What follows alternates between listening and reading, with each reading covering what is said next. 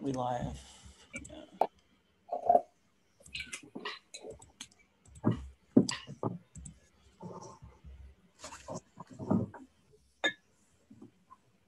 All right, that looks pretty good to me. Well, let's get let's get underway. Um, g'day and welcome to everybody that is tuning in, whether it be via Zoom, whether it be via YouTube, uh, theoakbarrel.com slash live, or most likely probably facebook.com slash oakbarrel. Um, to get a, another installment uh, of um, these virtual events, these virtual tastings, virtual wine tastings that we um, have been running um, almost weekly, or certainly weekly for, for the last sort of six to seven months here. Um, for those of you that, that don't know me, my name is Joe Perry. I'm the, the wine buyer here at the Oak Barrel. I'm responsible for all of the good and bad decisions that are made in the Oak Barrel's wine department. Um, thankfully, tonight is a, is a very, very good decision. Um, and if you're probably not too familiar with, with, our, with our virtual tastings, um, we here at the Oak Barrel are a, fiercely independent uh, bottle store in Sydney CBD uh, with wine, whiskey, spirits, sake, and all the rest. We used to run lots and lots of really fun, amazing tastings in our little tasting room um, for, for several years up until uh, the unmentionable happened earlier this year, where we had to take uh, our, our, tastings that we loved and enjoyed and try to convert them into a virtual space and, and um, really focus on bringing what we loved and what we enjoyed the most about our tastings um, into uh, the virtual area and into your lounge rooms or your homes, wherever you may be viewing from tonight, um, to hopefully try and deliver equally as amazing uh, tasting experience uh, to our to our customers who supported us for so long. Um, and I've had a lot of fun doing these. Uh, lots and lots of fun, lots and lots of great wines that, that I've enjoyed. And uh, there's been a few producers here and there where, where words popped up, and I thought, yeah, that'll make a really, really good good Zoom tasting. That'd make a great tasting. Let's let's do it. Let's make it happen. Um, this was probably top of my list, I'd say, from about six or seven weeks ago when it got mentioned. Um, tonight we're we're tasting through, and we've we've got the lovely Duane and Rebecca joining us as well. Um, we're going to taste through two wines uh, from the the Coates series range variety of variety of wines. Um, that we have here in store.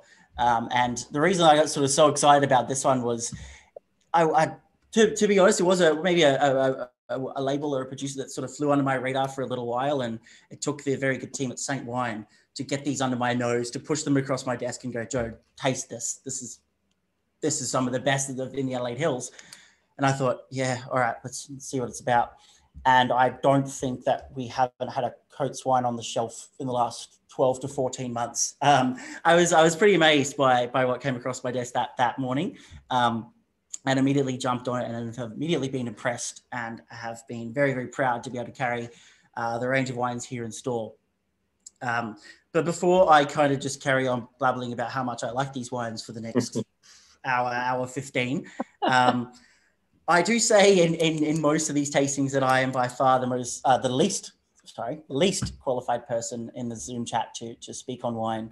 Um, and if you ever needed any proof, um, it's that the, the, the man in the, in the picture across from me um, does have the letters MW next to his name. So um, welcome both uh, Re- Rebecca and Duane. And uh, I would start by saying, uh, Duane, massive, massive congratulations. And um, yeah, I, enormous amount of respect for, for the accomplishment that, that you achieved.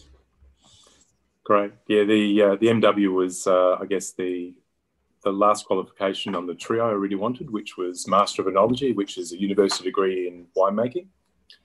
Then after that, um, after years of um, sitting in business related meetings where someone said to me, "If you only had an MBA, you'd understand," and uh, that was like a that was like a rag to a red, a red, red rag to a bull.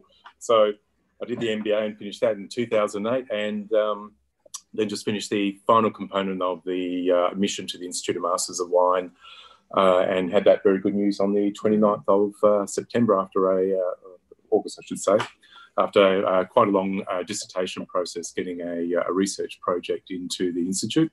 It's always a little bit difficult when you're trying to run a winery and we bottle everything in house, we make everything in house, we sales and marketing all in house. Plus, um, my partner Beck, she um, she looks after the food side of things at cellar door on Sundays as well. So effectively, we have a restaurant at cellar door on Sundays too. So between all of that, it's um, spare time, not a lot of it. So uh, getting a dissertation done on the side, which was was quite a bit of work, has taken me um, a little more time than I originally anticipated.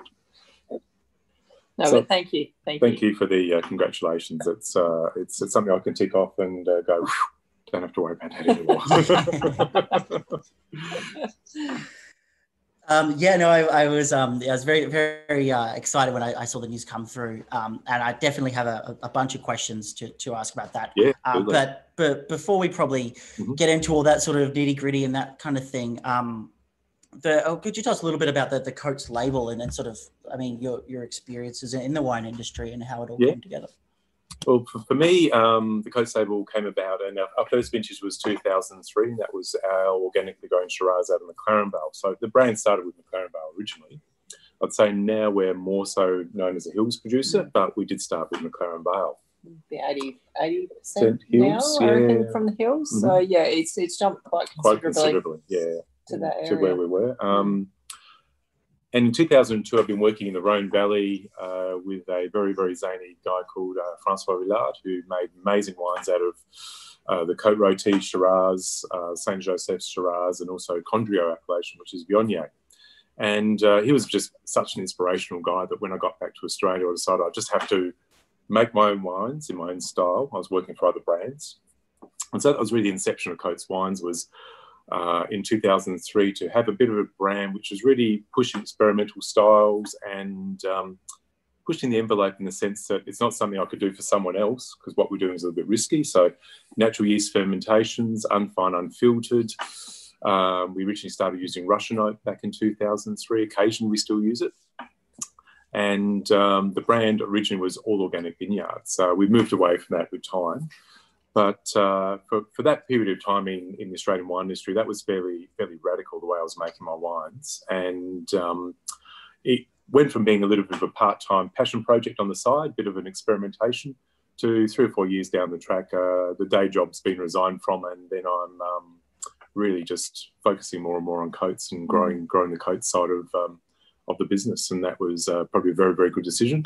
Um, a lot of doubts and um, yeah, you, you know, always, left turns, right turns down the wrong street along the way, as, as yeah. you have in business, and um, also, the wine industry is no different. Yeah, it's also gone from that one product back Absolutely, in 2003, yeah. the the Shiraz that was organic, um, to where we are now, which is about 20 different wines. Or 20. Mm, it's about 20. 26, 27 if you go with museum stock as well. It's, it's quite substantial, complete yes. wine geek, mm-hmm. which is good.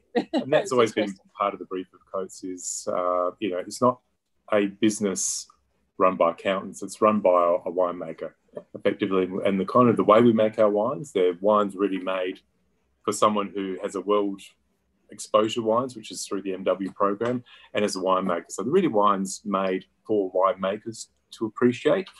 Um, and I hope the public likes them as well. but they're really, really sort of focused on what I, what I love, the styles I love, and the, the techniques I like to yeah. experiment with in the in the winery. And yeah. um, they're all treated like children. They are basically. Yeah. Everyone has its own story. Occasionally, um, we have naughty children, but sometimes know. they're naughty. We have well-behaved ones during vintage sometimes, and some children are not so um, easy to work with. But um, um yeah, so the, I guess the bottom line of all that is. Um, this is not really a commercial winery in the sense that um, you know we're not, not big on sales and marketing. We're really big on spending our time and money on the product and uh, that's probably why so many people haven't heard of us. Is uh, sales and marketing side of it is really a blind side to this business. We're yeah. just really concentrated on making great wines and um, taking a slow, slow way about uh, a the winemaking. It's a very slow, considered, old school way of making wine, and just trying to get it right and getting it right first well. time. Yeah. yeah.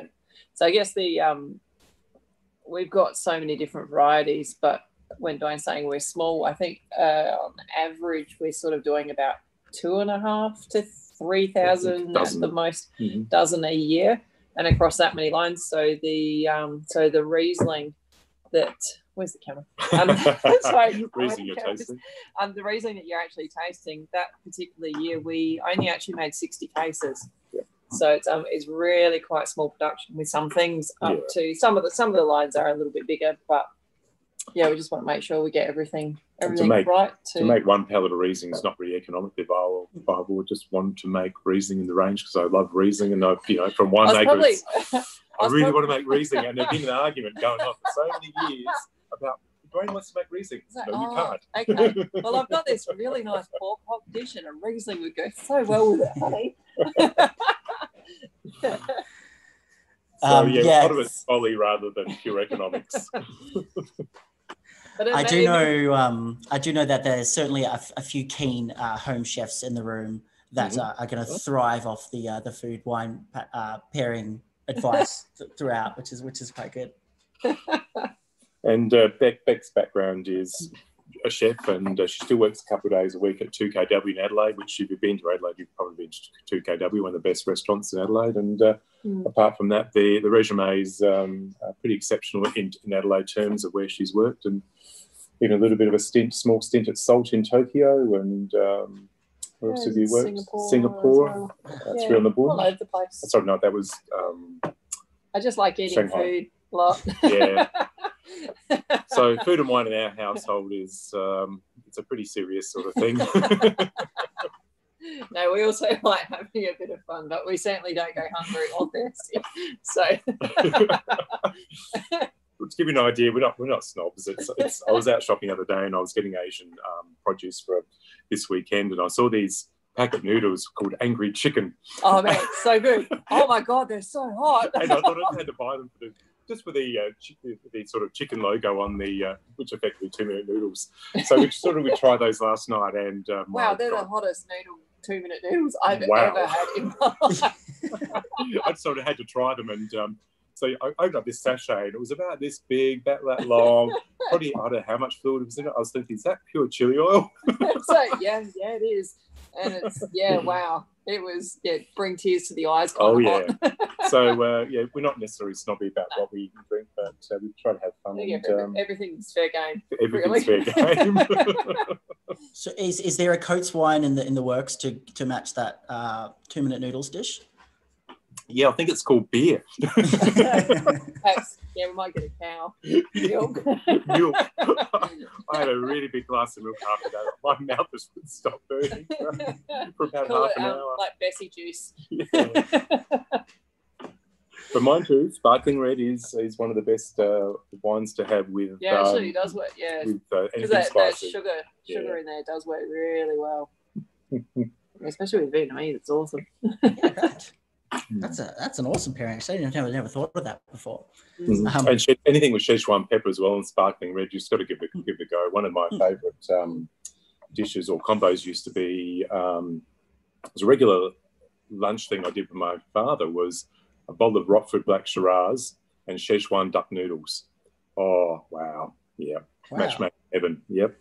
So hot spicy Szechuan and sparkling Shiraz. Yep, it works. I'm gonna have to give that a go. Um, I, I know that you, you alluded to uh, Francois Villard in, in the Northern Rhone there, Yeah. um, uh, but you also have a bit of uh, winemaking experience in, in Burgundy, um, but Yeah. also the Douro as well. yep, Uh, the- so as well.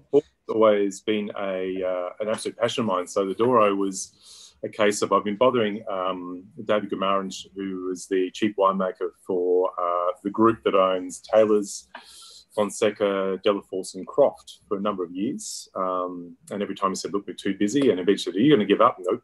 So eventually said, "Come on over." 2003, I came over and worked with. Um, David at one of the wineries there, and uh, vintage ports and ports is something I love as well. It's um, not a, um, I guess, a, an in favour or fashionable part of the industry, but it's a an amazing part of the industry to be involved in the crafting of great vintage port. Um, one of the hardest wines in the world to make, and uh, to use a slightly sexist term, but I would call it the king of all wines. It is the hardest wine to get right.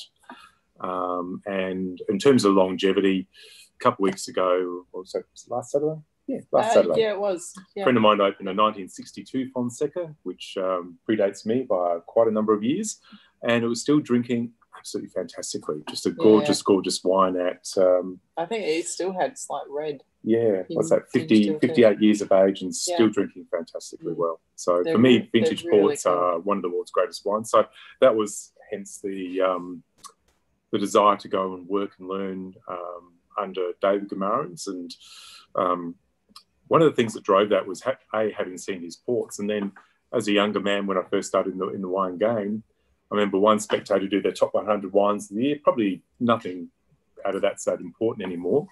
Um, they've probably lost a bit of influence in the wine world, but back then, Wine Spectator was a be all and end all. And um, I think it might have been 1990, 98 or 96. Two wines had achieved the perfect 100 points, and uh, which is such a rarity for someone like Spectator. And uh, wine number one, Taylor's Vintage Port 1994, made by David Guimaraens. Wine number two, Fonseca Vintage Port 1994, made by David Guimaraens. I thought, I need to work with this guy and just see what this is all about. So that was a fantastic experience to work with someone so dedicated, passionate, and uh, attention to detail was amazing. I remember being at the winery at three in the morning. I was looking after the wines on night shift. David rocks in three in the morning. He is chipper, like absolutely beaming, and uh, isn't vintage a great time of year? You know, obviously the um, the English uh, side of the industry came through. He's English educated, really thick sort of English accent. Great time of year to be out. You know, it comes around once a year, and it's just amazing. And vintage is the most amazing time of the year. And I've just been to the four other quintas on the way, and uh, then I'll get home, and maybe about six a.m. Six a.m. I'll get to bed. But wow, there is a guy who is working nearly twenty four seven and is in love with what he's doing, and that, yeah. that is such a so much enthusiasm, enthusiasm and excitement, and excitement well. about it's it. Kinda, yeah, it's contagious, and that rubs off. And I'm thinking, geez, I'm a night shift, and it's four hours to go till we finally get to have breakfast and go home to bed. And you meet someone like that in the wine industry, and that really is a lasting impression on you about um, the importance of enthusiasm and, and love and of, of, the craft of what you do. Mm. Yeah. And to go back previously, Burgundy, I spent two, two vintages with a uh, domain called, which are now called Bellevue, but also have a, a Macon operation, uh, which I looked after for two vintages in uh, one and two. And uh, that was a really, really good experience to, to work in Burgundy and learn the ins and outs of how Chardonnay's made in the best Chardonnay producing place in the world and how Pinot and Gamay are made in the best Pinot and Gamay producing uh, region in the world. And that was good fun too. It was um, it was challenging at times, but um, I learned so much working with uh, with the team there. That, that, that's awesome. I mean, yeah, that, I, I, the the um, stories from the Douro are, are fascinating uh, for, for, me anyway. Um, just crafting those, I've, I've been lucky enough to try a, few of the older older yeah. fortifieds and and ports from uh, those sorts of areas. Maybe not quite that old, but they're always that that mind blowing bottle that always you know knocks everything else off the table, which is yeah. pretty cool. Um, just feeling a few questions coming in early, but uh, Juliana mm-hmm. says uh, for for Beck there says, "Bravo, how did you like Luke?" Um, which I think might be a Luke Mangan. Oh, Luke Mangan. Oh, yeah. Sorry, Luke, Luke, which Luke? Um, yeah, yeah, no, he was a he was a pretty dynamic, energetic kind of guy. He has so much on his plate though, so there was a bit of time with him. But when I was in Salt in um, Tokyo, he wasn't actually in the restaurant for much of that because he was doing, um, I guess, uh, the oh, what's it called now, the Lexus Appetite for Excellence program and TV shows and all sorts of different things. So he's he's very good at. Um, he's got some really good ideas with food, but he was also very good at pulling people together as well. as a um a bit of an organizer kind of person. So he's got his fingers in so many pies. I don't know. He's he reminds me of a bit of the the David character that Duane was talking about. He just gets really excited about everything. He's got fingers in a lot of pies. Don't know whether I could be quite that, ah! but you know, but some of the food that he does is really quite good. Yeah. So no, he was a he was a really lovely, approachable kind of a dude. For um, yeah, for me. I met met some really amazing chefs yeah. throughout that trip. So yeah, it was um, really quite cool. Like Tetsuya and. Mm-hmm um, Kylie Kwong and a few other people as well through that um, that program. So no, it was good fun. Yeah, and uh, if you do have questions, uh, and I sort of start to spill off into technical jargon, speak up because I can't help myself. Um, I sometimes um, he, he still loses me sometimes. I go, whoa, yeah, just slow down. I know it's Yeah, seven years of working in the well, actually probably it's a bit longer than that. yeah, actually, like seven years working together at the winery, working current winery. full time, Yeah. pretty much at the winery. Yeah, a lot of it's osmosis, but even now it's like what sometimes. so I haven't Yeah. got the um the oenology degree, so yeah, I just am relying on the um the experience, time, etc. so yeah. Um, Juliana does follow up her question and, and says, uh, made a broccoli and fennel soup, which is going well with the Riesling so far. Oh, Um, yeah, Which might be as good a cue as any to, to pour a glass of Riesling. Absolutely. Yeah, that Yeah. was- Not that anybody following along actually needs a cue to pour a glass of wine. But No. I'd be very disappointed if everyone's sitting there going, oh, finally I can pour a glass now. Ah, just Um, seen a question up there. What was your dissertation topic, which was methods of preserving freshness in open bottles of wine? So I was looking at uh, evaluating uh, Coravin, you know, the vacuum arm pumpy system, um, putting inert gas, you can get the cans of spray that goes into an open bottle, refrigeration, and also decanting um, into a 375 ml bottle, keeping that. and And, just putting it in the fridge. and also, yeah, and Yeah. also just refrigeration at four degrees in Yeah. domestic uh, fridge. And um, So it's uh, all done in the lab as all well. under laboratory uh, conditions uh, with the help of the Australian Wine Research Institute. Um, there's some pretty um, high-end technical information in the dissertation, but the bottom line is um, was hands down the, the best method of preserving freshness. Then after that, refrigeration kind of works okay. Um, the vacuum pump vacuum pump doesn't work all didn't work all that well. It was okay for about four days, and after that deteriorated. Um, the canned gas, like the argon gas you can buy and squirt in, that didn't work particularly well either. It was okay at four days, but by eight it was not very good. So Coravin is the um, hands down was was the uh, was the best method. Yeah, but chucking in like uh, in a home situation, if you don't have the, the uh, uh, Coravin system though, Mhm. just the fridge Fridge is probably the best bet. quite well. Yeah. Or um, even when you decanted it into the, Smaller bottles. if you know you're not going to drink it and you only Mm-hmm. really want to have half a bottle and you carefully decant it into a smaller bottle, that and get, get, act- if you get around to that in four or five days' time, the, the Yeah, smaller it- bottle is, it uh, actually worked fine. quite well. So Yeah. it's a cheap option, It's a cheap option, yeah. especially for people at home. Mhm. I can't even you can read that. I just saw I can read it there. What is the concept of leftover wine? Um, Very good point. very good point. Um, Okay. it's, it's something something I read about lots from uh, studies. Never seen it here. Yeah, no. it's a pickle. that, that's quite fascinating, actually. I, I, and I, I'm glad for, for knowing that now as well, because when we sort of started with the um, the the concept of these virtual tastings, um, you know, we, we toyed around a little bit with the idea of maybe breaking down bottles into 30 ml samples, that kind of thing, Yeah. mailing them out. Something I didn't feel particularly comfortable with, anything like that. Yeah, yeah. Um, but also, it was, uh, you know, a lot of producers wanted to taste four or five wines in one sitting. Um, and the question I got the most all the time was, well, I'm not going to drink four bottles in a night. You know, how Yeah. long can I have these in the fridge for? So Yeah. I think that's kind of, you know, that's really, really good to know. Yeah, and from the point of view of um, trying to preserve freshness in wine, there's two enemies. One is air. So the more air you've got in the bottle, the worse it is. And the other one's temperature. So the cooler you can keep the wine and the less exposure where that's really um, the two critical things unless you want to start Mm. spending you know good money on Coravin Yeah. or other systems. the colder it is, that Yeah. it just slows the process down. Yeah.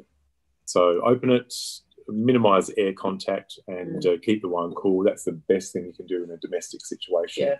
Uh, if you've got a Coravin, fantastic. That's the uh, that's the uh, gold standard in, in preserving those wines. And what with with a Coravin, I, I've seen um, sort of things doing the rounds on the internet and Mhm. that sort of thing. Yeah. But people maybe give Coravin uh, half a bottle and then Yep. coming. I think maybe they did the test, but they came back to it in a year's time or three, Yeah.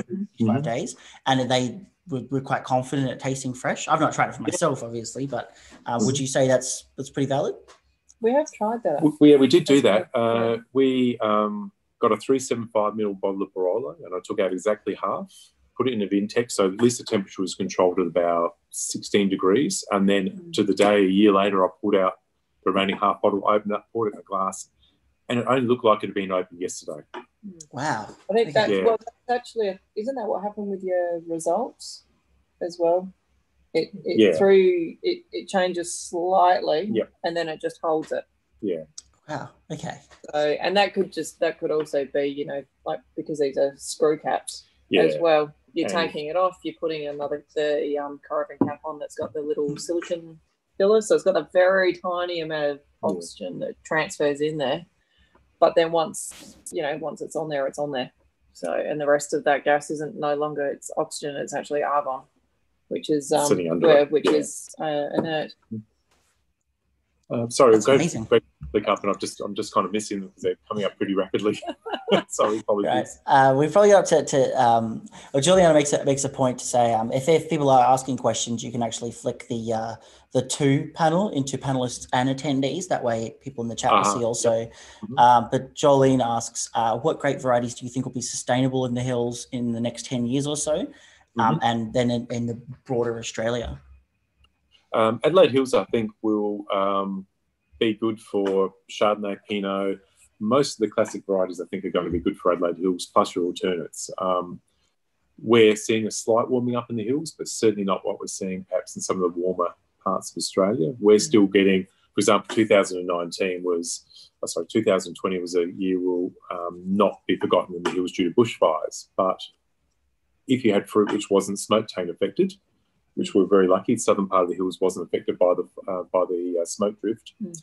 We saw amazing acidities and beautiful fruit this year. Um, the acids are absolutely amazing natural acidity numbers. So that bodes very well moving forward.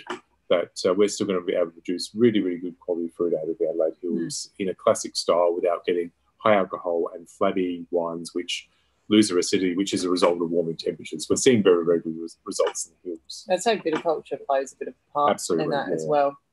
So you've got to, um, you know, you can't get the vines in the hills to crop the same way as what they would in, say, McLaren Vale, Barossa, or Yeah. Langhorne Creek because it is so much cooler. If you end up doing that, your fruit won't get Right. won't get ripe. You'll strain the vines, and you run into all sorts of different problems and disease issues as well. Yeah. So it's um a lot. I suppose you know, good wine starts with getting getting Right, good fruit fruit as well. vineyard. So Yeah. that's that's the first step in the um in a very long ladder.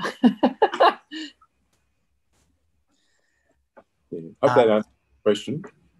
Yeah, uh, it's, I think um, I wanted to, to touch on your, your range of wines uh, Mhm. a, a bit later on as well. But Yeah. um, di- diving like you know headfirst into this Riesling, Yeah. um, the the nineteen, um, Mhm. just sorry, the Riesling, I believe everybody, everybody's got there at home. Mhm.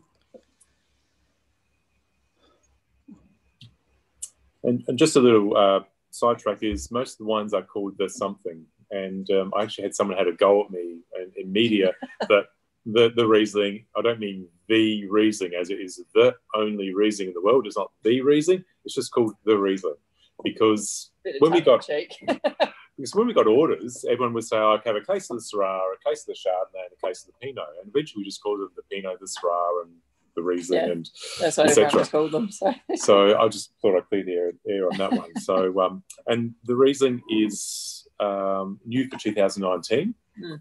It had been something on my radar screen for a long time to make, but um, we just had so many wines in the range that I decided to um, just leave it be for a little while. We've, I've made Riesling for other people, not under my own brand, but other Mm. people in the past. long time ago. long time Yeah. ago. Um, we always do things a little bit differently with uh, with uh, our own wines. And um, what we did with the Riesling, for example, is we bring the we brought the Riesling in. It was literally driven straight off the vineyard, straight to the winery, which is you know ten minutes between picking and um, getting Yeah. it ready to go on the press. It's growing literally 150 meters, Yeah, maybe maybe 200 meters, metres away, away, from where we are. So it's it's very very Yeah, Close. very close by. um, and then we get the the the, uh, the grapes go into a what's called an enclosed bag press, which is a technical term for a press which is really designed for very high quality whites. We press the juice out. We don't really look at getting any pressings into the uh, juice at all. It's pressings being that the harder, coarser part of um, uh, the grape juice. So you start off your pressing cycle. It's very very soft and gentle in the, the initial part of when you start to press, and then as you press harder and harder, the juice color starts to go browner. It becomes grippy or phenolic or, or coarse. So we really avoid those parts of it. And then we just let that settle in tank for a while, and then the juice goes into um, very, very old French oak barriques. And that's one way we're very different to most other producers in Australia. Is Riesling is normally done in stainless steel. We've um, made our Riesling in very, very old French oak barriques. I'll get around to why we did that in a minute. And then we let it go through natural yeast fermentation, which is ambient yeast in the winery. And that does take quite a long time to get started. It can take uh, up to two weeks to actually kick off and get started. Mm. And then we just let it ferment through to dryness. Um, I was looking at the uh, the ferment right at the tail end of the stage where it's uh, starting to look more and more like wine, and um, often, especially with cooler climate reasons, you might keep a touch residual sugar, one or two grams a litre.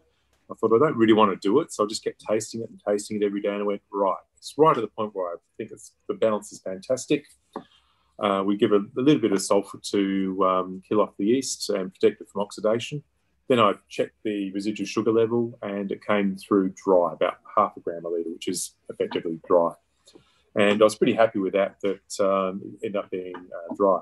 Now, one of the reasons, just to go back one step, we um, fermented this in French oak was that um, when Riesling's done in stainless steel, uh, it can almost have a bit of a steely character to it.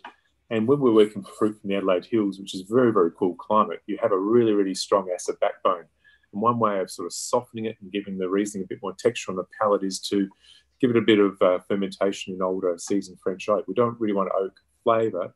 It's just the fermentation process in French oak really does give it a little bit of softness and uh, voluptuousness on the palate. Mm.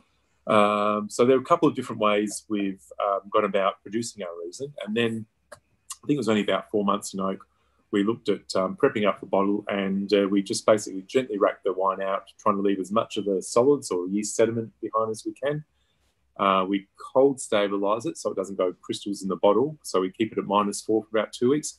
And over that period of time, any yeast leaves or yeast sediment just slowly drops out of it and goes to the bottom of the tank.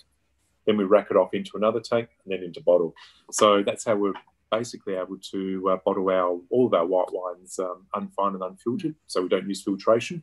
But as you can see in the glass in front of you, the wine is perfectly clear. It's not cloudy. There's no sediment in the wine, and um, it's just very traditional French European style of winemaking that we've kind of adopted or plagiarized, depending on how you want to look at it.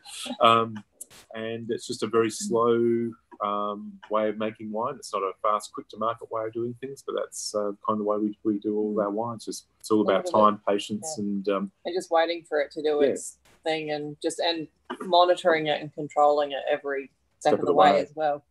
So it means just being really on top of hygiene and temperatures. So um, if you imagine when Duane was talking mm. about the um, the ones the sorry the grape juice when they're in barrels and they're fermenting. If anybody, so we've got a few foodies out there. When you make bread, and when your yeast in your bread is starting to multiply and it's starting to improve, your your dough starts getting warm. Well, the same same kind of thing Absolutely. happens with wine. So you have the native yeast that then inoculates your um, your grape juice which then starts chewing through the sugar and multiplying. It generates a lot of heat. Mm.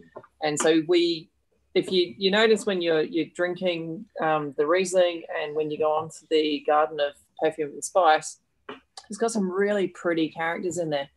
And so we're really careful at trying to make sure those ferments stay cool because they can mm-hmm. really jump up in temperature. So I think in some of the tanks, if you let them go, they can get to 40, 50. No, not that quite that hot. You can get to 30, yeah. 30 plus yeah, quite hot, quite high in the 30 degrees anyway. And what that does is it cooks off those really nice, beautiful, pretty notes that are in there. So with the, um, we're quite lucky where we are at night in summer. It actually cools off a lot through Kuitpo to the point you have to put jackets on.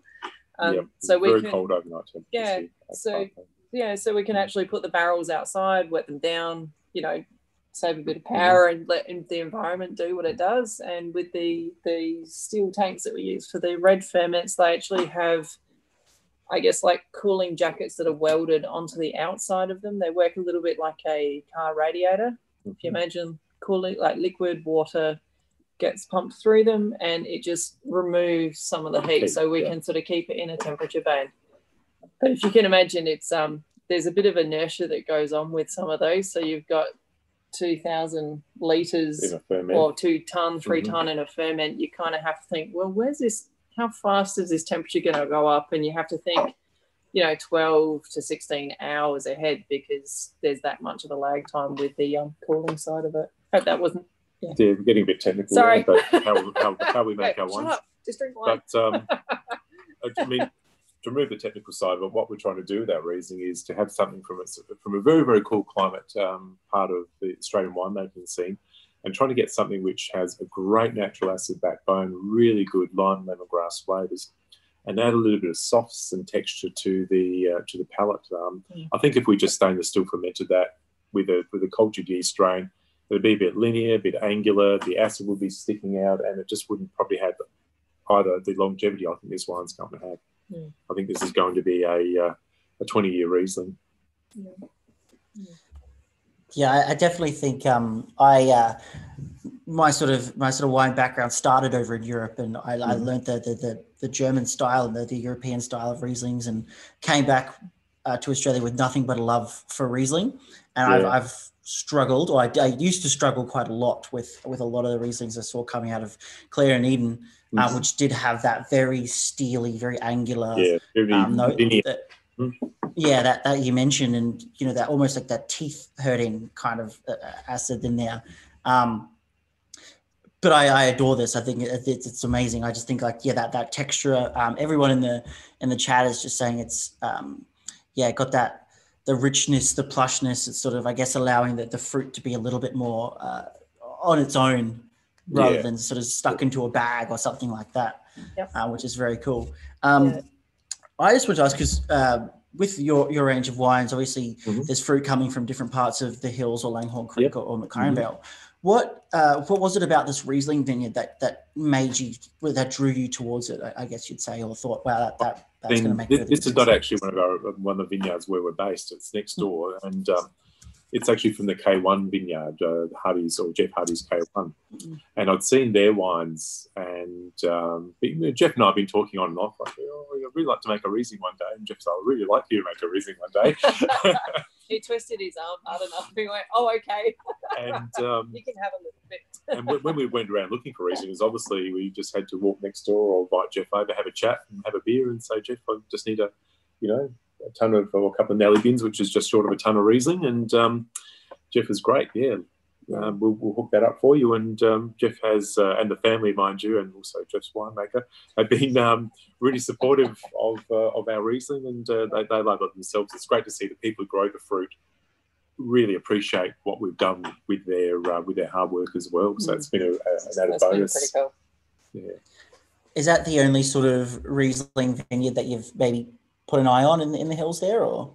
Uh, in in recent times, yeah, it's uh, it's very close. I know I know the quality of the fruit coming out of uh, of that vineyard, so it's been one where we've uh, that was a bit of a no brainer for us. There's a number of vineyards around the Kuitpo area which all also have Riesling. We're not that's not the only one, but um, being right next door, it's a case it can be picked, Pretty driven handy. over on the on, on the tractor on the, on the trailer on the tractor, and then we've got it five minutes later. We love that about um, working with the local fruit. It's um, it's so fresh. It's uh, it was only on the vine, you know, ten minutes prior to we're starting to load it in the press, and that's that for us is one of the critical things of um, Mm. working with the vineyards we do in the hills. Yeah. Um, yeah, I think that that's that's pretty much. I feel feel like it's a luxury that, that very few have. Um, you know, sourcing of some incredible fruit that that close to to the winery. Yeah, Um, the other thing that I, I did want to touch on as well, because it's, Mhm. it's something that is in my my day to day discussion almost always, but Yeah. um, you sort of touched on earlier at the start that this um, you know unfined, unfiltered, Mhm. um, little to very no addition bar, say sulfur bottling stuff like that. Mhm. Um, that's very trendy at the moment. Yeah. Uh, but back when you were you were uh, talking early, early 2000s and stuff, said it was really Yeah. really wacky. Um, but how was that sort of wine? I mean, you said it was wacky. How was that sort of winemaking received um, back then compared to say now, where it's- with a lot it seems almost not quite the norm, but it definitely seems Yeah. like it, it, there's a there's a big growing trend towards that sort of thing. it certainly um, there were a few sort of blank looks on people's faces when I was saying how I was making my wine. Like what? Especially some of my friends who are also winemakers. What? and give an indication, even the Riesling recently when I was sort of uh, just in the early stages of production last year, great, a really good friend of mine works for Australian Wine Research Institute, highly regarded wine scientist. I'm saying I've done this, I've done this. It's natural yeast, and it's just going to go net and bin in barrels. And it was just looking at his face of, what the hell do you think you're doing? and there's quite a bit of that going on in that era. Um, well, even the bottling facilities. Yeah, and we had a lot of problems with bottling. We didn't. We've got our own bottling facility, but in the early days we had to use contract facilities, which is how 95 percent of the Australian winemaking Yeah, industry does it. But um, then I said, "Yep, we need to bottle, but it, no filtration on bottling." There'd be this blank look of, "But what?" Oh, they used to freak out a bit. yeah, they just get really like, "Oh, we don't know if we can do that. That just sounds too risky." Sign the waiver here that Yeah. um, if anything goes wrong, it's all your fault. But um, these, these are techniques that um, small scale European winemaking has been using for hundreds of years, centuries. And um, Yeah. as long as you're very, very um, attention to detail with hygiene, making sure everything's clean, you're watching what's going on, you're really on top of the winemaking. Mm. Um, it's not, I shouldn't say it's not risky, but you manage the risk and try to do uh, Mm. everything in your power to make sure that nothing's going to go wrong. Yeah. Um, so yeah, to the long and the short of that is in 2003, it was what the fuck are you doing? and you've you've sort of had the the ability to to watch i mean perhaps watch the industry change towards almost favoring that that sort of winemaking oh, absolutely, yeah. It's um, if, what you get away from the bigger companies when you're looking at your smaller brands, especially Adelaide Hills and the you know, the, the more uh, cooler climate regions. It's uh, there's so many younger producers now who are making wines in the, in that style, and um, you know we used to do a bit of contract work for. I used to do a bit of contract work for other brands, and when I went to wineries, it was just unheard of to be, you know, wanting to use natural yeast and minimal filtering, minimal filtration. But it's just such an accepted part of the industry now, and um, I guess for, for consumers, Mhm. it's pretty cool because you've got so many more choices as well out there. And yeah, absolutely. It's uh, especially from the boutique part of the industry. And uh, to take one step back from that, it's it's I guess some of the bigger companies, you know, your sort of Dan Murphy's kind of brands. I, I don't mean that denigrating that, but it's some of the bigger companies can't make wines that way just due to the size they are. I mean, we can put our Riesling in a tank and watch it settle and let it settle over two weeks and end up with a product looking like that. Penfolds want to do that with one of their larger volume wines. It's going to take, you know, these five years or something for it to settle that clear, just due to the volume. It's a luxury of, of being small to be able to make wines that way. So um, that's it's a great benefit of being a small producer. Once you get bigger, it's very hard to do things in that method, just Yeah, due to you, the you just can't. and So- in our winery, it's um, we don't have cellar hands. It's Beck and myself, so we are doing every operation. So the, we don't have cellar hands doing stuff. We don't have other people outside doing work on the wine, and that gives us the ability to have really good attention to detail control. The moment you've got cellar hands, contractors, third parties, plus volumes in the you know, hundreds of thousands of liters, you- you're no longer able to make wines that way. So Mm. it's it's a bit of a um, unfortunate part of the industry that um, that can't happen for some of the bigger companies. It's really Yeah. something at the smaller se- uh, scale Mm. is achievable. Yeah, all the more reason to be drinking more and more small produced boutique wine throughout australia i think Yeah, Uh, so we've got a few come through. Everybody seemed to very much enjoy enjoy the Riesling, as have I. Um, Dave asked would be good to get some recommendations on smaller producers in, in the hills and uh, regions like the Vale, Langhorne Creek, and, and Mhm. surrounding regions. Phew, I'm a little bit out of touch because I don't know all the other new producers, but um, Jimmy's got some. yeah, there's Golden uh, around the Kuitpo area. around we've got um, Golden Golden Child's another small producer around the Kuitpo. I'm more familiar with the Kuitpo region. I mean, the, the Basket Range area's got some really, really good producers doing natural stuff, and those guys are, are pretty well known, especially through someone like Oak Barrel. They'd be very, very familiar with your customers. Gentle. Home, Gentle Folk would be one of the good well. ones that Cody very familiar with. Top note.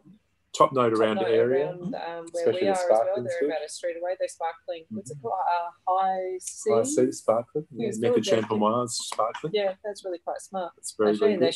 is looking really good too. Yeah, um, and um, There are so many producers. so here. many producers in the Bahrain. now it's like like in the thousands. it's not thousands, but it think is. it feels wow. like it's in the thousands. There are heaps. We drive through McLaren Vale. Went, There's a sign for a cellar door from a brand I've never heard of. And We're in McLaren Vale like Yeah, three or four times a week. Yes, I think It's been I think explosion. yeah, the wine industry in South Australia is probably one of the bigger employers. Yeah. I would have to say in general, because we've got so many wine regions and they are all huge. Because we've got the you know Barossa, mm-hmm. McLaren Vale, Langhorne Creek, Adelaide Hills, Clare, uh, Coonawarra, Yeah, so many things on our um, doorstep. and they're, they're all they're all quite large, and up the Murray as well. Yeah, once we get to Yeah. Riverland. Yeah. So it's um yeah, it's a massive, massive industry over here. So and there are just so many like little people that are little um, wineries that are popping up all the time, and yeah, it's just it's huge. It's huge. but So- it's uh, it's pretty cool. from, my, from my perspective, if I needed to find out who's good in the Adelaide Hills and McLaren Vale in terms of new producers, I'd go to the Oak Barrel and No, I'd no, stick you. there. You yeah. I mean, yeah, I, I feel I feel the same, but I'm I'm just working over email at the moment. But there's so like what I love the most about I think where you guys are or the hills in general is that um, it's there seems to be this this trickle down effect of these producers uh, making very good wines, but also there might be somebody that's working for them that is Yeah. learning so much and then starts making their own wines and Yeah, Yep. definitely. yeah from being down there i'd like i just think of there's such an amazing community around there that like around the hills that that i don't see as much of in, in other australian wine Mhm. regions and Mm. now i i know um you know sommeliers and that sort of thing working in sydney that will give up their job to go and work down in the adelaide hills yeah, yeah, wine experience which i think is so cool yeah, absolutely. um i might actually just jump into the the syrah as well Yes. while we're on the, the sort of the jump in right into the red Ooh.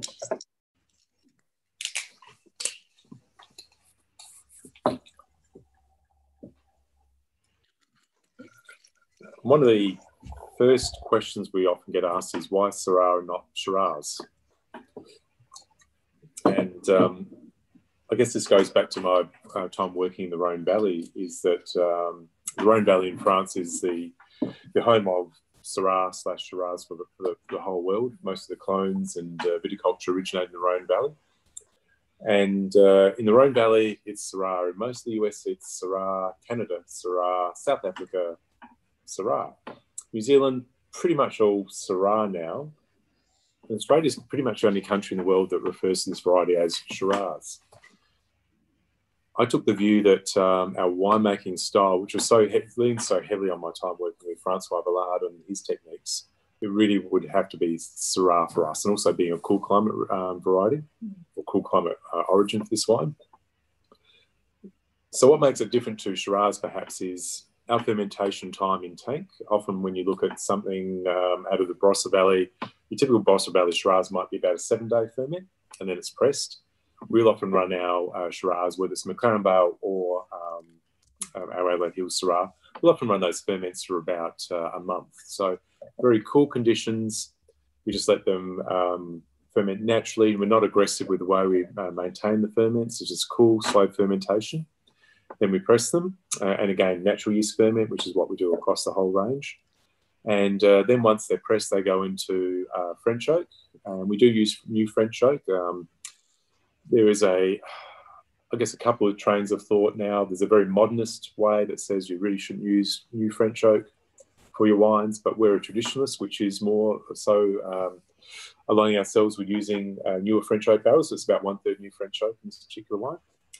And uh, then it's given a minimum six to uh, one years, uh, six months to a year uh, bottle age before release. So all the production techniques we use for this wine are very much, uh, they very much lean heavily on the way the French do things. So hence why we've called our wine Syrah rather than Shiraz.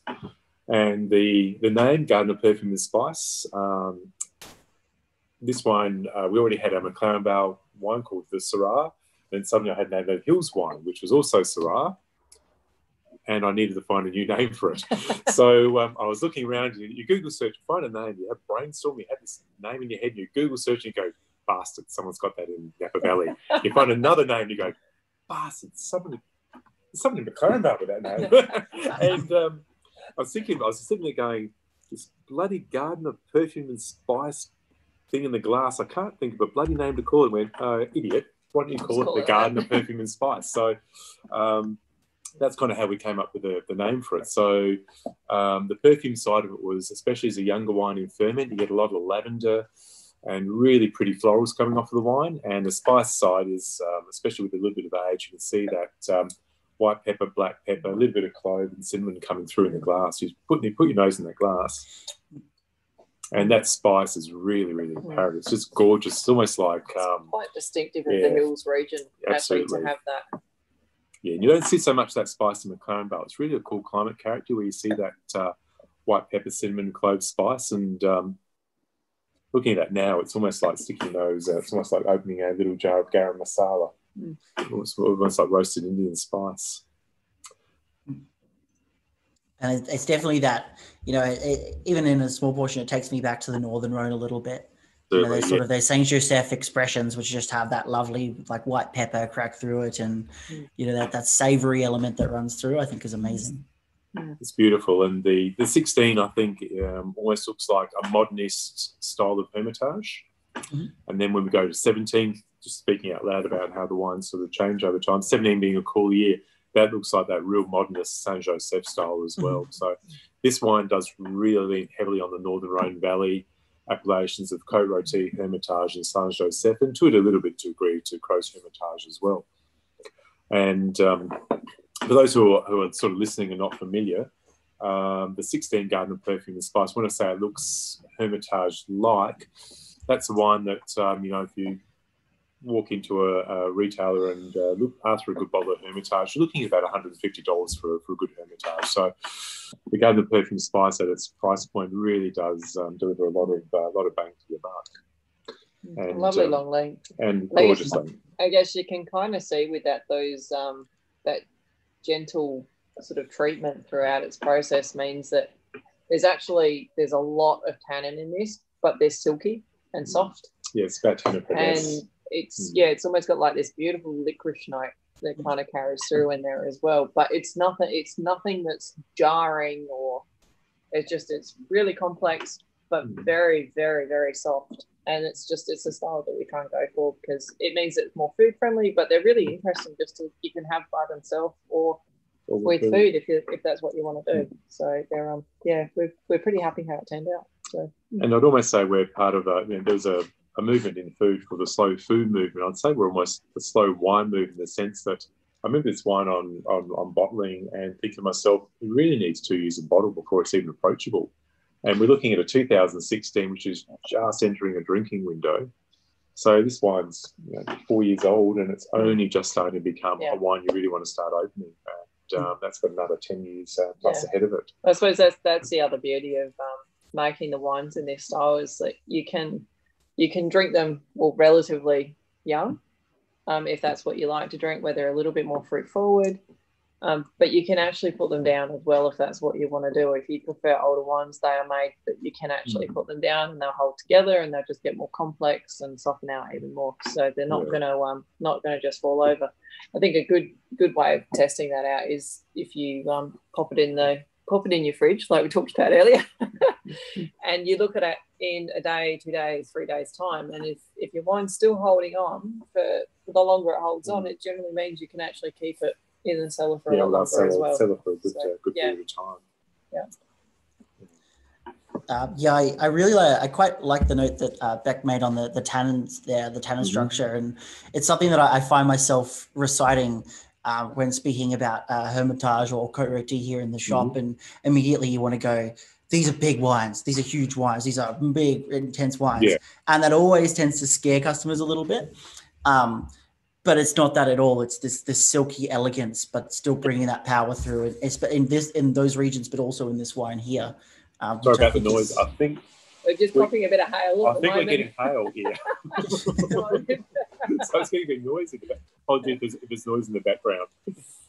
Yeah, and and um, uh, that that mass of fine silky tannin is something we, we try to get through our reds. And the only way we can do that is we don't add tannins, we don't use fining agents. Mm. We just have to get the extraction right by a long, gentle extraction during ferment, mm.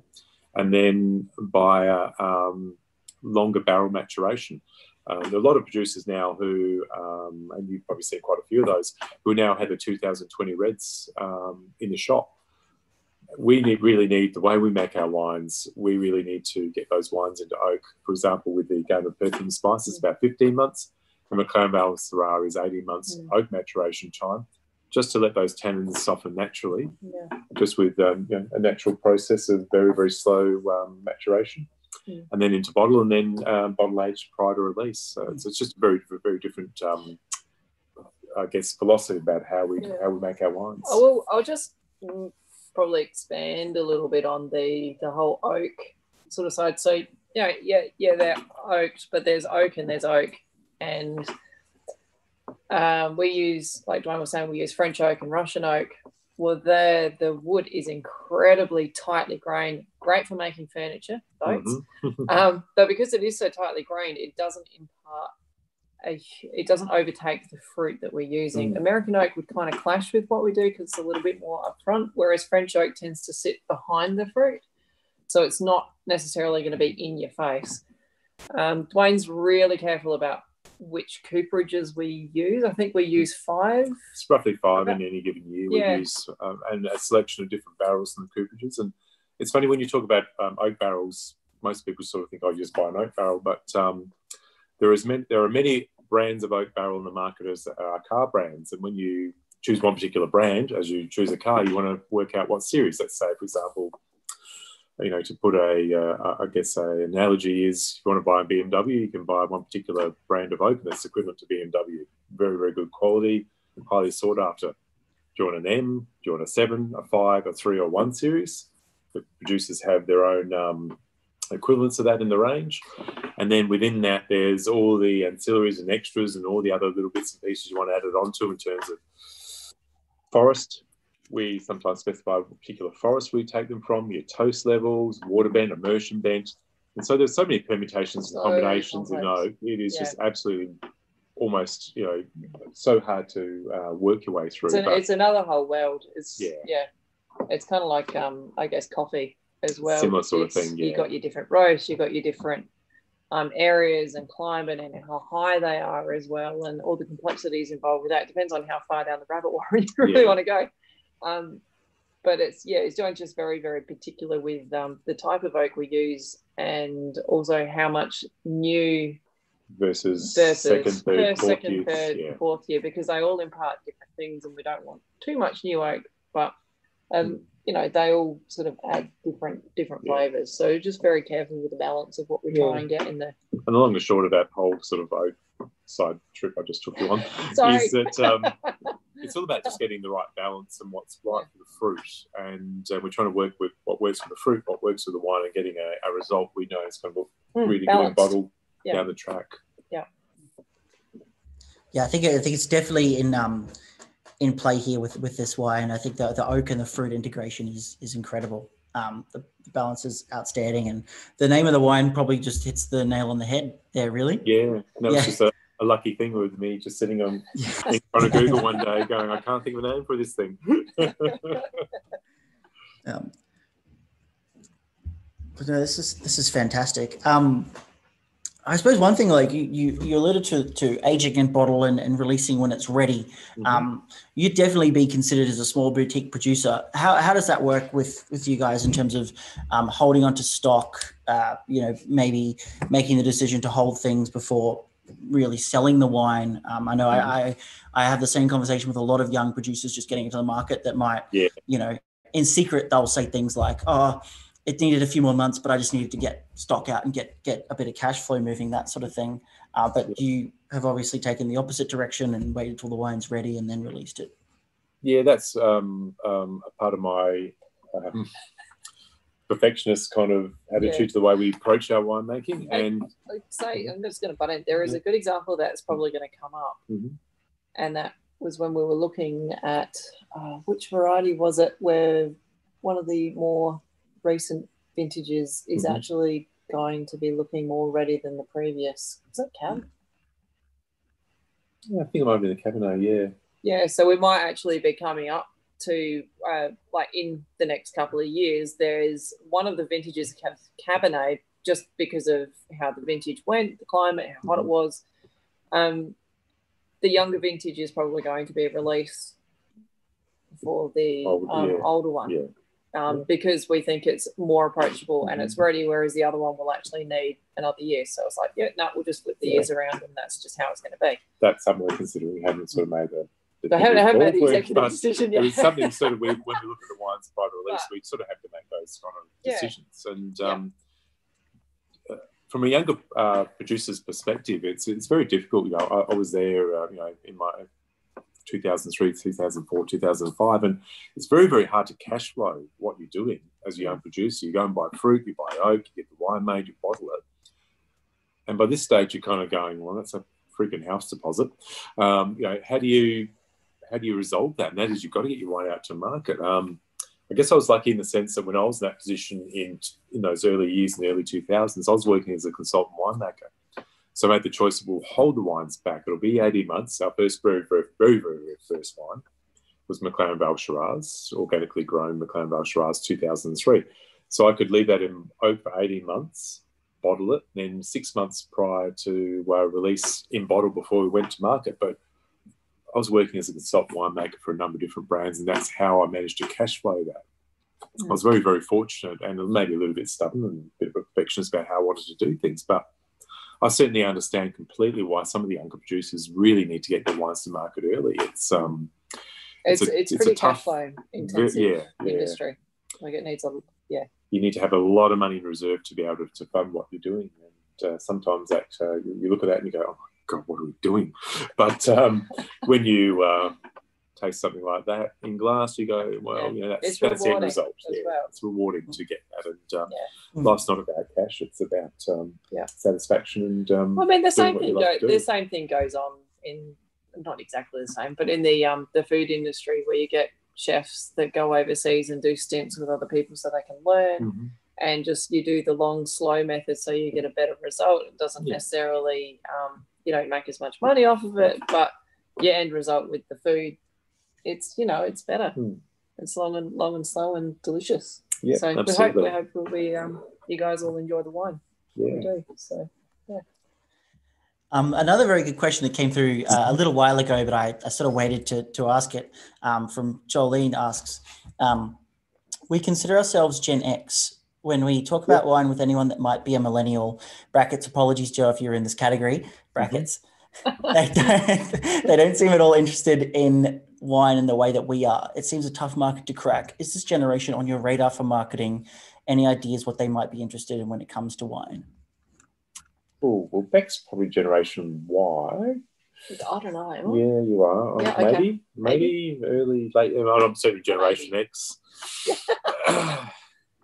they're they oh, how do you they're interested in a lot of things the younger generation. So we're i'm going to use the people i work with actually as a bit of an That's example point, because i i feel so old when i go to work. Oh my god they've got so many young people there. That think they're so old. Um, they're in their 20s they they sometimes aren't given as much credit as what I think they deserve. They're interested in things, but yeah, they can get swayed by passion. Uh, sorry, passion, fashion, somewhat. But when you talk people like that through what it is that you're doing, they do gain um, a bit more experience. And I guess as as an older generation, you've got a whole lot more um, experience in trying different wines and seeing the different history. Whereas I think there's been so much recent change in the industry that there's a lot of new things that are happening that everybody's interested in. So it does it does make marketing, especially when we're not really um, huge Marketing marketing people, it does make things very interesting because there's a lot of yeah, it does make it tricky to be completely honest, I guess yeah. Um, because there's a lot of story sort of telling behind that people really want to know about different things and um, about how they're done, why they're done, or just you know just a, a, a good story or a good Yeah. yarn. And um, so I don't know, like we, I guess, relatively recently being on the Instagram and we've had Facebook, not that we use it hugely, Yeah. um, just to sort of keep people in the loop as to what we're doing and tell, a, I guess, a little bit of a story about what we Yeah. are. And it seems to be um, people are a bit more receptive to that if they're the younger crowd. But To- yeah, it's um, yeah, it, it's we're, we're very it- much about the, the wine making side of it and hoping people will taste and appreciate what we're doing. yeah, We've never been about trying to sell a lifestyle, which might be something that a lot of um, millennials and the younger generations are, are really trying to hook into the lifestyle side of the wine industry, Mm. which is a fantastic side of it. But that's just not what we've been really uh, about in terms of um, our brand presence. We're, we're Yeah. more so about make really, really good wine and uh, hopefully people will understand it and appreciate it. yeah. And I suppose like even when the older generation, when they were young, they're probably experimenting and looking at a whole range of different things, which is what the younger generation is now doing. And as they gain more experience, they taste more Mhm. things, they gain more knowledge, and then they start looking for things that they actually really do like, and um, they don't get influenced quite so much. They um, they decide for themselves what they Mhm. want, but uh, Yeah. you can only get to that point with experience and time.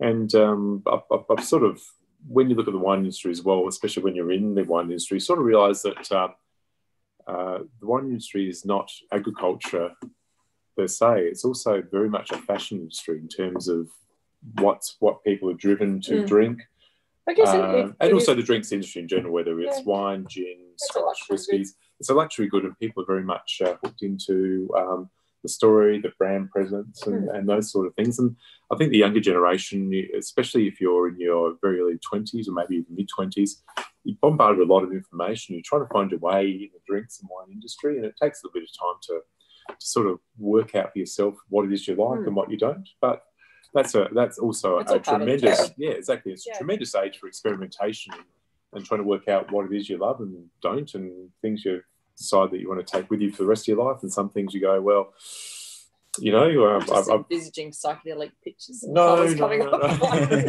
it's good, man. it's all so all good man love. so good but um yeah. take me back to my Haight Ashbury days.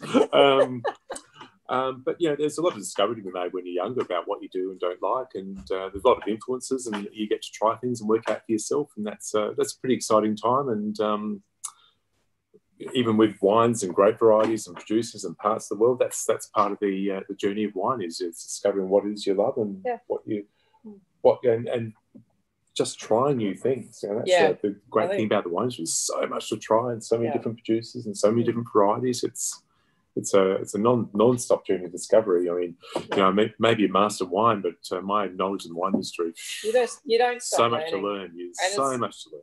And the same thing in food. Yeah. So many different cuisines, so many different ways of cooking things, so many different flavors. You like some things, you don't like some things. Just don't stop trying Yeah, everything because you never know when you're going to come across something that you will actually really, really. exactly. Right. We, we haven't tried broccoli and fennel soup with Riesling. so there you go. We haven't even we haven't even had that. Oh, you're yet. so getting that tomorrow.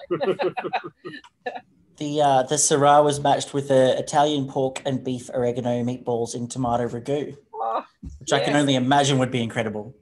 Oh, that sounds I, pretty need, damn good. I need an address. Yeah. I need a drone that flies at about 800 kilometers an hour. Boom. we'll put an order in. um, yeah, no, I think that was um, yeah, obviously a, a, a, tr- a tricky question all around, but um, yeah, I think you answered very well. To be fair,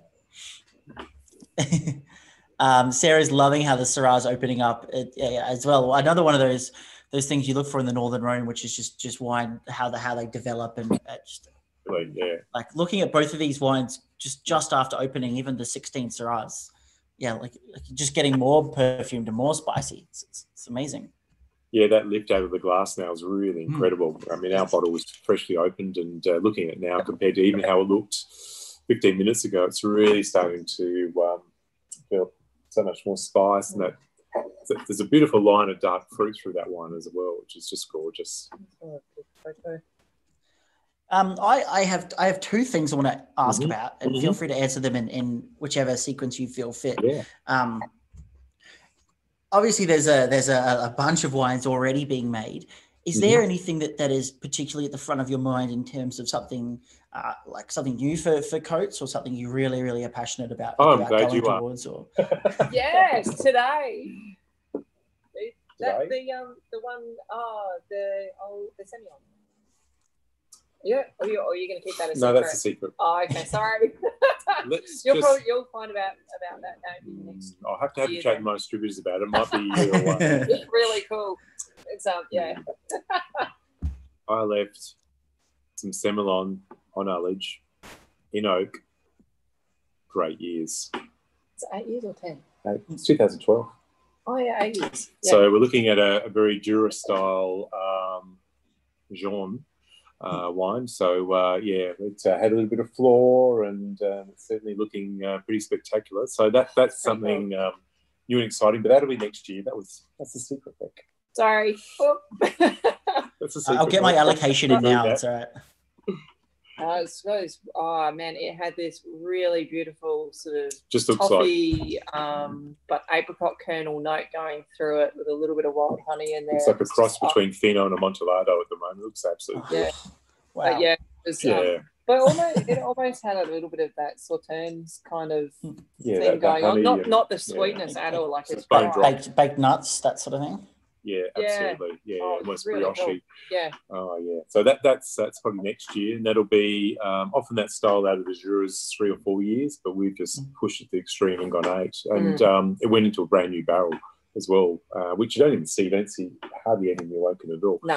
Anyhow, we'll get back onto. sorry. Ah, Oh, can I Beck thought keep a secret? Now, now we know. Now we know. um, but in about a month's time, we'll have a Coates Blanc de Blanc, which is going to be absolutely uh, phenomenal. We're hoping. That'd be cool. Yeah. Yeah. so that'll be zero dosage. It'll be close as you can possibly get to having a um, natural um, bottle Mm. fermented It's been um, a- sparkling. Yeah, been a five five year project. Yeah, four and a half. Yeah, Four and a half? yeah, Close yeah, to four and a half. Mm. Yeah. So Chardonnay. With Chardonnay, yep, straight Chardonnay. So it was a year and a half. We, it was all natural yeast fermented in very, very old season French oak barriques. So then it was a year and a half on full yeast lees from fermentation, then bottle fermented, and it'll be another three years on least years in bottle, and then uh, disgorged zero dosage. So the extra extra Mm. time in bottle Yeah, does it builds up yeasty, toasty complexity. Um, it will still be quite a, uh, a lean, age-worthy style. I think this is one that should age for a long, long time, and uh, we're so excited because I just love champagne, and um, it'll free up some budget because I won't have to buy so much champagne. I'll be able to drink my own. Yeah, really so- excited about that. yeah. So technically in Australia, you only have to um, Age nine age months. it for nine months, whether it's red or white, to say that it's method traditional or and the- vintage. the- and vintage. Yeah. Whereas uh, you find the top champagne houses in um, France, they they do it for around the three year kind of mark, three to five. And then your prestige cuvées might be five, six, seven, Yeah. eight, nine. Yeah. But then you're talking two, three hundred dollars a bottle. Yeah. Yeah. But So- yeah, we cracked a bottle of that a year, A year ago. about a year ago, and it was yeah, it was looking pretty good. So we're, Yeah, we're pretty excited. we're kind of like, oh come on, ticking the days off on the calendar. Just in time for Christmas. Yeah, we're excited about that. Um, and then the the other one I did want to ask that I, I probably more of my own personal curiosity. yeah, What, did you also make a Syrah called Shinzenbi? I do. That was a um, passion project that we did one barrel back in 2012. So um, you've got your primary fermentation, uh, secondary, and once the which is malolactic fermentation, and once the one went back in barrel after malolactic fermentation, it was only ever a gravity handle from that point on. It was the very, very best um, parcel we had out of 2012. Put in some really, really amazing quality uh, oak.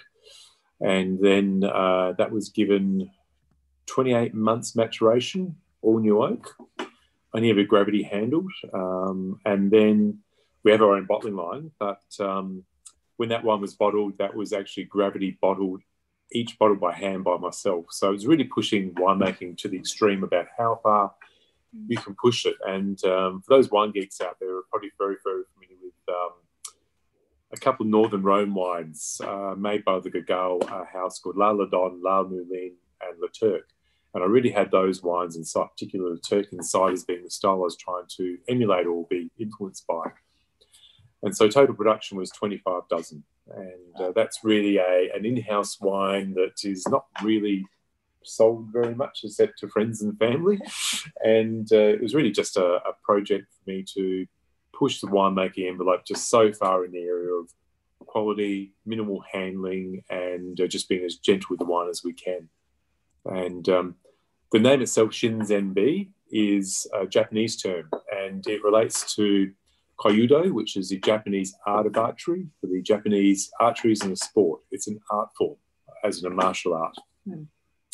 And translated, uh, Shinzenbi is the tenet or guiding philosophy of Kyudo, which is truth, goodness, beauty. I couldn't think of a better way of describing a wine that has just absolutely been made with uh, quality in mind. Mm. And a little bit of a sidetrack on that is one of the reasons we chose that and Kyudo as the, um, I guess, the, the guiding principle is both Beck and myself, when we were not so busy with the winery, uh, have both been elite level archers and shot at Australian competition level. I've shot at World Championship level, and Beck's also shot at um, World Cup level for Australia. And um, unfortunately for us, um, the winery is so busy now, I could, could, no longer compete. And my last truly competitive phase was probably in the lead up to 2010 Commonwealth Games when I had to um, actually pull out of the training squad because vintage arrived and I couldn't I couldn't take a weekend off to go to the yeah, no, Australian Institute of Sport. Yeah, take a weekend off doing vintage, not happening. So uh, the training camps were every second weekend. I just had to say, guys, I can't really yeah, see no, myself was, take, yeah, taking no. the time off to uh, head to India for that. Mm. Yeah, so that's uh, one of our little um, passions in, in life is archery. Yeah. Still keep in contact with the people socially, yeah. and um, love to get back and shoot again someday because it's such very, a very similar to golf. Yeah, it's a real, real it's a, um, mental. It's a head game. It's a head game. It's a real mental challenge. That's so it's, it's fun and frustrating. And very frustrating too. Yeah, got to say. So anyone sort of visiting cellar door that might try and pull a runner, you guys oh, we've got two amazing um, border collies. Border collies. oh, there you go. such great guard dogs. Well, no, not really. They're very good at chasing leaves and random mm-hmm. imaginary characters. So, so, yeah. so to get past the guard dogs, all you got to do is go pull. They'll disappear and won't be seen again. Um, that is awesome. Uh, I think I, I just have pretty pretty blown away by the, the two bottles of wine in front of me at the moment. So th- thank you guys so much. Um, probably last last question I'd have, and bit of a bit of a chill one, but what what um what are you what are you drinking at home at the moment, or just in general, or, or what, what's probably the most consumed style of wine in, in the household? If we, would have to say if, if one style of style of wine above any other in our household, which is not it's not so much driven about what we drink at home, but it's our friends, is probably Burgundy. So okay. Pinot Noir. Uh, we've got a number of our friends, really, really close friends we've known for a, a long time, are absolutely Burgundy fanatic. So uh, when we catch up with them, and they're probably the people catch up with most often drink wine with, um, we will drink Burgundy. But uh, Rhone Valley, you know, McLaren Vale, Adelaide Hills, we sort of we drink pretty widely. I mean, last night was uh, Fleurieu um, Beaujolais because we're looking at Gamay and sort of mm-hmm. trying to get a better understanding about what's happening with the Cru um, mm. uh, Beaujolais at this moment. A couple of nights before that, we're drinking um, Spanish Tempranillo uh, you know, I'm, I'm, sort of looking up the empty bottles up there. Then there's Rioja, again looking at uh, Spanish uh, Tempranillo. We drink pretty widely. I, I, often buy stuff more around the world trying to see what's going on and what's contemporary around, around the world. Chianti, love Sangiovese. So Chianti is another thing which drinks um, or gets a pretty good airing in the uh, in the household. And um, I hate to be a bastard, but right on the table there is my allocation of um, Pierre Yves Colin-Morey white burgundies. Um, what, what, what, are you, what are you drinking out of the PYCM stuff? Oh, it's a bit of a, a bit of a range there. We are going to get some of the Bourgogne, um, and then uh, I think there's a few Meursaults, maybe a uh, Puligny or, or, or, two of the um, on the Premier Cru section. Grand Crus are all allocated. Get, get, no Bâtard-Montrachet. Unobtainium. yeah, they're, they're, made with unobtainium, so we can't even buy them. Um, and uh, one of our good friends, Gavin Leonard, actually works for um, the importer, and uh, I'm probably lucky to get any at all. Just Gavin goes, "Give me an order today." yeah. So we do love white burgundy as well, and then Chardonnay. Um, and again, it could be a theme for another tasting. Is the Chardonnays we make, I'm very very proud of, and um, Chardonnay. I'm often quoted as saying is the variety I love the most in the white wine world, and it's the variety I hate the most as well. Um, so when you see great Chardonnay, it is amazing. When you see poor Chardonnay, it is absolutely dross. Um, so Chardonnay is something I absolutely love, and the great news is for us in Australia is we're making fantastic Chardonnay in Australia now as well. Adelaide Hills, Mornington, Yarra, WA, across the across the spectrum, the Chardonnay in Australia is just so good at the moment. So um, get out there and start buying Chardonnay. If you think it's grandma's wine, you're missing out. yes. Chardonnay is absolutely sensational. Yeah, it's definitely um, changed. The new way we're doing in Australia yeah. now is the style's changed compared to how it was yeah. uh, sort of uh, 1990s and then into early 2000s. What we're doing in Australia now is so much smarter, sophisticated, and gorgeous. Mm. So, um, great variety to look out for in Australia at the moment. It used to be anything but Chardonnay was the um, catch cry. Chardonnay. Or Chardonnay. Chardonnay, yeah. yeah, but it's uh, what's happening now is, is, is just gorgeous. Mm. So uh, we should be very, very proud of what's going on in the Chardonnay community in Australia. Yeah, absolutely. I've, I've been actually been lucky enough to be able to sell both your Pinot and Chardonnay here in the past, um, and having the shop and and yeah, like I said, they they don't stay on the shelf long.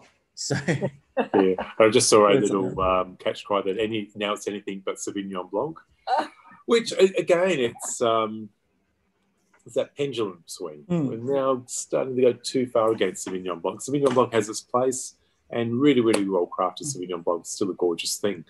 It's just that uh, we've seen too much supermarket quality Sauvignon Blanc in Australia, and uh, the really good producers are still making fantastic Sauvignons. So um, keep in mind that small producers, quality focused producers, will still make really, really good Sauvignon Blanc. It's not, yeah, not so much the cut grass and tropical fruit that we're all yeah. used to. It's sort of it's controlling. And, and nine ninety nine at your local supermarket. It's, yeah, it's uh, it's still yeah. it's still a good good quality, grape variety, yeah. but it just has to be treated with some respect. Yeah. Do you take a um? Do you take a European approach to your SB? Um, yeah, absolutely. That's um, um, as what we do with our Riesling and Chardonnay. It's a natural yeast ferment. It's all done in barrel, so we, uh, I guess, we make what's traditionally called a Fumé Blanc style, and we um, time the oak varies depending on vintage, and generally it's about somewhere between four and seven months oak maturation in French oak. Sometimes it sees a little bit of new oak, and then in, into bottle unfined and unfiltered. So it's a pretty traditional European style of uh, Sauvignon Blanc, and um, we're, we're, really happy with the way it looks. It's um, what we sort of when we're at cellar door and um, we, have got an audience tonight. I shouldn't say it's what we call Sauvignon Blanc for grown-ups. so, it's just quite funny though the amount of people like if I give it to them blind in cellar door and don't tell them what it is, they go, "Is that Chardonnay?" Hmm. No, no. a number of people who say, "I don't it's, drink Sauvignon Blanc." Try yeah. it. I don't drink Sauvignon Blanc. Hmm. Just try it. I don't drink Sauvignon, Sauvignon Blanc. Yeah. Just try it. Can I buy that? Yes, you can. it's just a matter of um, a lot of a lot of consumers in the marketplace haven't been exposed to Sauvignon Blanc handled really, really well. And mm-hmm. again, a lot of the Australian uh, uh, wine production uh, community now is is handling Sauvignon Blanc with a lot of sensitivity yeah, and doing really, really different. good things with the variety. So it's just a matter of go exploring, try new Sauvignon Blancs, try new Chardonnay. There's, there's a lot out there to uh, experience, explore, and, and discover. Yeah. Yeah, there's, there's plenty out there, that's for sure. Um, well, I, we've well and truly blown the hour mark out of the water. Okay. which is which is good. I was, like I said, it was, it was one of my uh, one of the ones I've been looking forward to the most uh, the yeah. past few weeks. So um, I just have to say a massive thank you, both Duane and Rebecca, uh, for, for, for, sharing not only your amazing wines but also uh, a wealth uh, a wealth of knowledge tonight. It's been fantastic. It's been, it's been fun. Thank you. Thank hope, you. Thank hope, you to everybody as well. Hope the, uh, so. those those watching and listening have uh, learned a few things, and hopefully you're not too technical. I'm always aware I just end up in technical. yeah. Just one of my go-to things. So my apologies if I have.